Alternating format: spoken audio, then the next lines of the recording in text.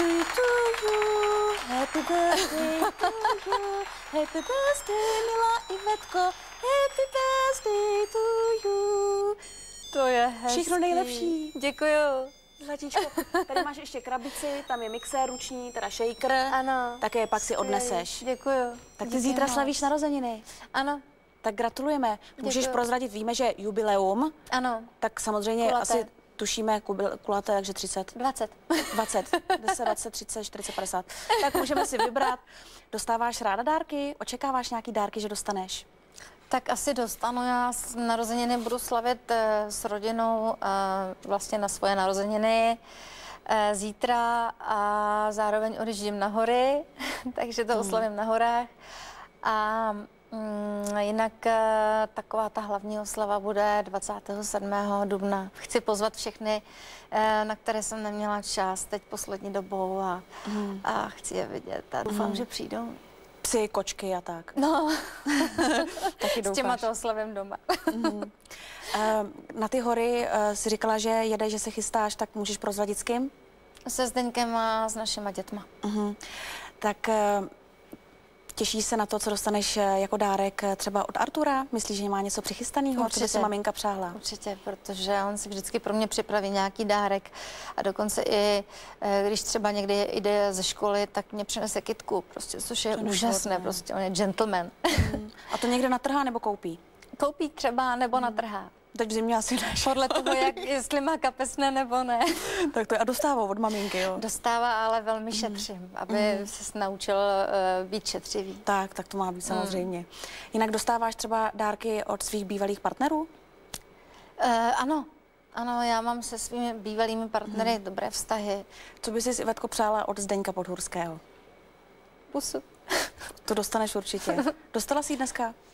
Od Zdeňka? Dneska ne, dneska jsme se ještě neviděli. Slyšeli jsme se ráno, volali jsme si, textovali jsme si a jak jsem spěchala, tak jsem zapomněla doma mobil, což se mi stává dost často.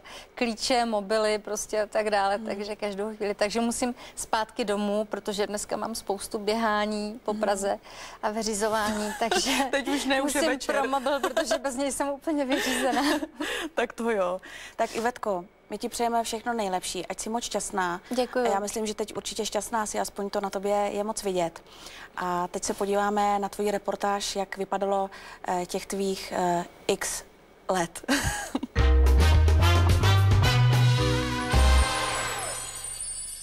Ivetko, tak já ti přeju hodně zdraví, štěstí a lásky k tvým narozeninám. Děkuju. Můžu tam to číslo Díky nechat? moc, jasně, mě to? nevadí. Ne? Tak klidně to otočím na kameru.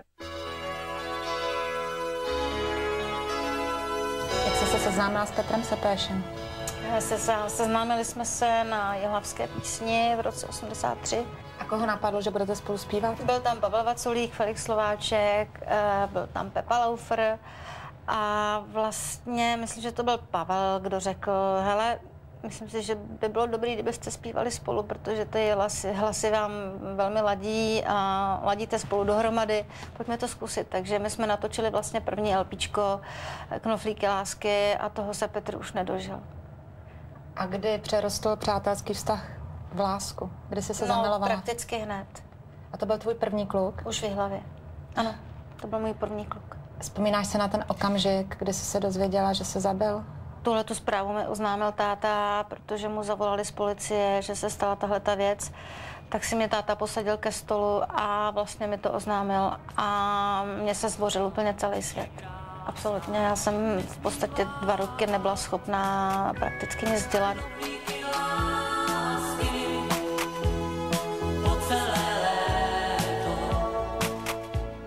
Díky Fratiškovi Janečkovi a Michalovi Davidovi, který napsal další dva duety a ještě radovánky, vznikly vlastně pr- první čtyři písničky a dva singly, tak eh, to se rozběhlo prostě strašně rychle a pak už to šlo krásně. Pak jsem natočila první desku uh, u Ládi Štajdla, protože to bylo moje obrovské přání a chtěla jsem spolupracovat s Karlem Gotem, eh, což eh, um, pro mě byl obrovský vzor. S Láďou Štajdlem tam byly hned vzájemné sympatie, nebo ze začátku ne? Ne, právě, že úplně naopak, my jsme se strašně hádali. Iveto, a kdy jsi se zamilovala do Ládi? My jsme spolu točili nějaký televizní pořád pro děti v televizi, tak jsme museli poprvé jet spolu autem, sami dva. No a v tom autě to začalo všechno, protože já jsem mu řekla, vlastně svůj život a tam jsme se poznali. Bylo to teda hodně silné. A já jsem potom během těch let, protože samozřejmě, že byl ženatý celou dobu, celých těch 13 let, já jsem eh, takových 8, 9 let neustále odcházela prostě, protože jsem měla výčitky svědomí obrovské, že vlastně žiju s ženatým mužem a děti a tak dále, jeho, eh, které vyrůstaly. Tak jsme se dohodli, že až bude Karolíně 15, takže potom to vyřešíme. Dlouho jsme se schovávali. Potom jsme to teda pustili, protože už to nešlo a to schovávání je strašný prostě, že to vlastně všichni řeší, jako moje vztahy a to je prostě. A, a to mám celý život. a pak přišel Artur. No a pak blán. se narodil Artur, já jsem se pravda Ládě vůbec neptala. Jo, takhle to Protože bylo. já jsem se prostě rozhodla z minuty na minutu, cítila jsem, že prostě to musí být teď hned a přesně jsem věděla, jak bude Arťa vypadat a jaký bude a já jsem si ho prostě vysněla, vytvořila a je úplně přesně takový, jak jsem chtěla. A zkus to teď jako s odstupem schrnout celý ten váš vztah? Já jsem věřila tomu, že to bude na celý život, protože uh, jsem chtěla, abychom byli úplná rodina a v životě jsem nepočítala s tím, že bychom se mohli rozejít, ale dva roky jsem se rozhodovala um, vůbec, jako, protože to už nešlo a vlastně to mělo negativní vliv ten náš vztah eh, k Arturovi především. Láďa mi to v životě neodpustí. A přizná to nebo ne? Mluvíte o tom ještě někde dnes? Samozřejmě, že v tom chování to je, ale snaží se, aby to bylo prostě v pohodě, ale je to v něm. Je to v něm a je pravda, že 13-letý vztah se prostě nedá zahodit a e, já ho mám neustále ráda samozřejmě, že uh, nevím, co bych dala za to, aby se to prostě vrátilo zpátky, aby byl Láďa jiný. Pomáhá ti Láďa dnes?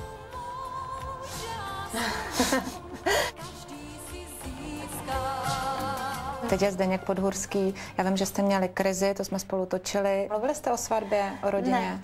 Neplánujete zatím nic do budoucna spolu? Ne, neplánujeme nic, necháváme tomu volný průběh, jsme spolu čím dál tím častěji, takže takové ty spekulace, jako že eh, budeme žít spolu a že bude svatba, že jsem dostala prstínek a tak dále, prostě dostala jsem dva, ano, dostala jsem je prostě z lásky, ale nebyly to prostě žádné zásnubní prstínky, prostě bylo to z lásky a zde nějaký neuvěřitelný gentleman prostě a stará se o mě, prostě pomáhá mi.